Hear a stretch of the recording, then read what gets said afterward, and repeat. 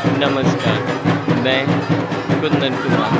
आपको लेकर आया हूँ चैत्र नवरात्रि में दुधपुरा के इस खूबसूरत से पंडाल में, जहाँ विराजित है माँ जगदम्बा, महालक्ष्मी महाशक्ति श्री कार्तिकेय और गणेश की सैन और हाथी के ऊपर विराजित होकर के वध कर रही है महिषासुर का द्वार पे खड़े दो बाघ, दो शेर। भक्तों को भरोसा दिला रहे हैं कि जब भी उन पर कोई संकट आएगा, माँ तत्काल उन विपत्तियों का नाश करेंगे। भीड़ लगी है पंडाल में और माँ को दूध भरने के लिए और माँ को माँ के आशीर्वाद पाने के लिए भीड़ लगी हुई है। मनोरम यह नृत्य है। आस्था का यह सैलाब है।